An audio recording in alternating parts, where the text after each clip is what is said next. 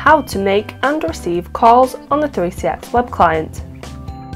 Search for the contact by name, extension number or email address.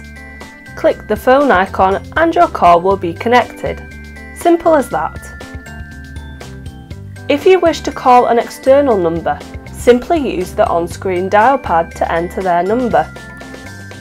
Incoming calls are conveniently displayed as a pop-up in the web client. You can answer, decline or divert to voicemail.